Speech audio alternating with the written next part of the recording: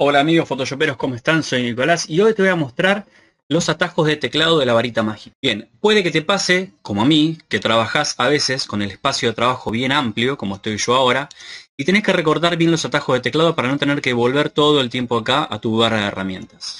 Así que, la varita mágica es muy simple, si venís acá arriba de las herramientas te la puede decir mismo Photoshop, que es con la tecla W, herramienta varita mágica. Ahora, ¿por qué es W?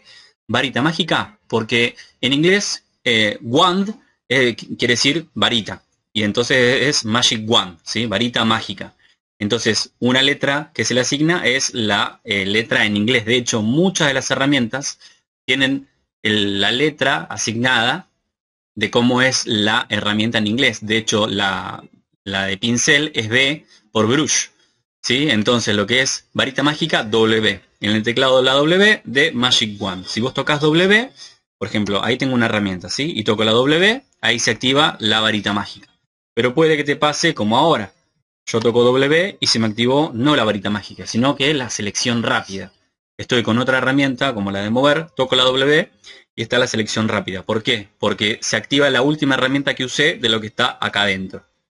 Debería con el clic derecho activar la que yo quiero y ahora sí, estoy con otra herramienta, toco la W y se activó en este caso ahora sí la varita mágica. Pero hay una alternativa que es con la tecla Shift y en este caso la W, alterno entre lo que es varita mágica y selección rápida. Entonces voy y vengo.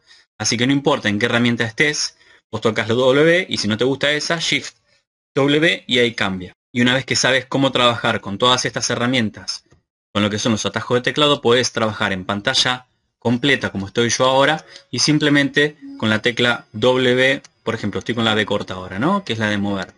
Toco la W, ahí me doy cuenta que es la de selección rápida, pero yo quiero varita mágica, así que hago Shift W y ahí cambia automáticamente a lo que es la varita mágica común y corriente, ¿sí? No tendría en este caso las opciones, por ejemplo, como de tolerancia y otras cosas más, porque claramente eh, esto se toca acá en las opciones de la barra esta de herramienta superior, tanto esta como esta otra. Pero igualmente no importa, una vez que está seleccionada o seteada, la podés trabajar tranquilamente. Así que lo que te recomiendo es justamente utilizar es... Ah, quería decirte esto. Te recomiendo suscribirte al canal para no perderte ningún video que estamos haciendo nuevos para que uses todas las herramientas que están disponibles en Photoshop. No nos quedamos con nada en el tintero. Así que estate atento a las nuevos videos y este, bueno, las nuevas cosas que estamos haciendo. Si te querés suscribir, suscríbete. Y si no te querés suscribir, no te suscribas, no hay ningún problema. Así que en este caso funciona todo el tiempo lo que es la herramienta varita mágica. Acordate, W de One, Magic One.